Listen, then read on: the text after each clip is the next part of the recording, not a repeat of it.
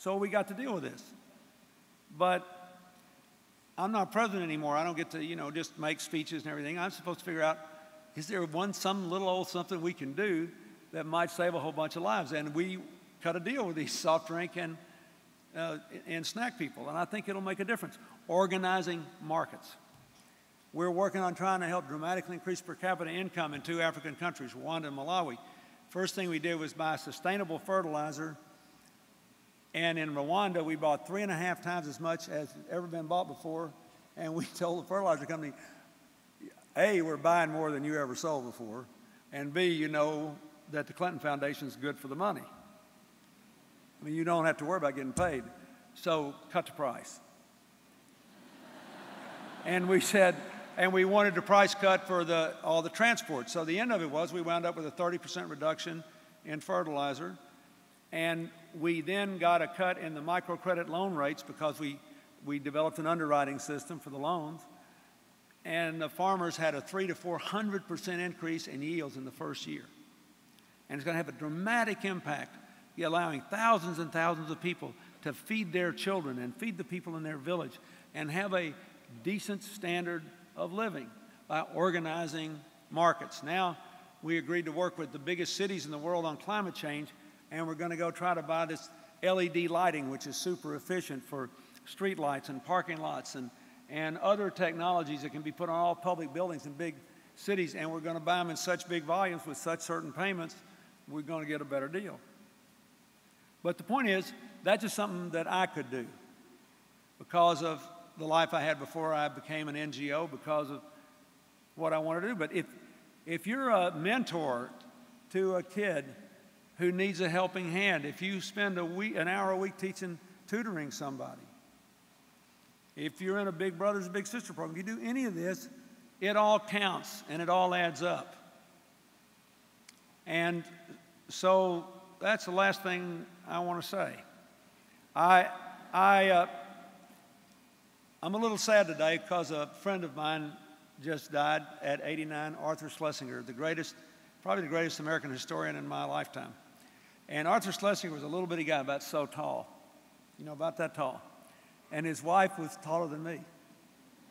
They were an amazing couple, especially as he got older, he seemed to get shorter, you know.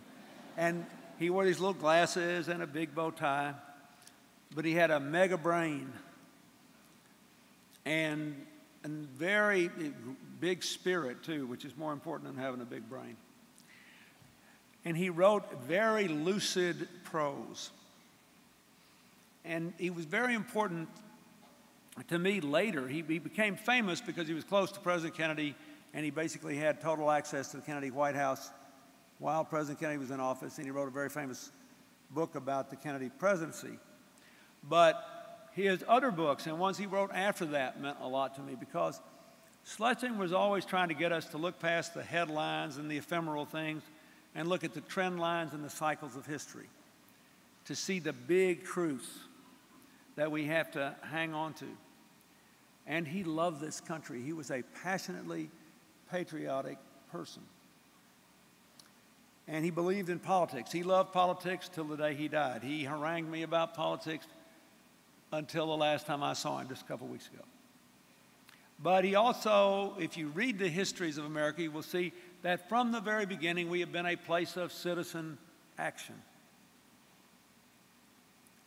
Alexis de Tocqueville said in 1835 when he came here that he was stunned that Americans, when they had a problem, didn't wait for the government to solve it. They organized themselves and went about doing something, even if it was wrong. So that's what I want to leave you with. You got to be able to answer these five questions. You may not agree with me, but you need an answer. Otherwise, every time you pick up the paper or turn on the evening news or scroll up on the net what the news is, it's like the political equivalent of chaos theory in physics all these different things happening. But if you can answer, what is the nature of the 21st century world? Is it good or bad? How would I like to change it? What's necessary to change it? Who's supposed to do it? If you can answer those questions, then it will help you deal with every single public challenge you read about or, or face. It will organize your thoughts and bring you to a position on an issue and enable you to root yourself, not only as a private person, but as a public person.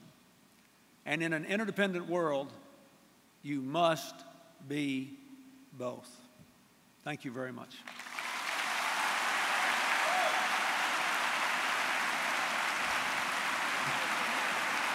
Thank you.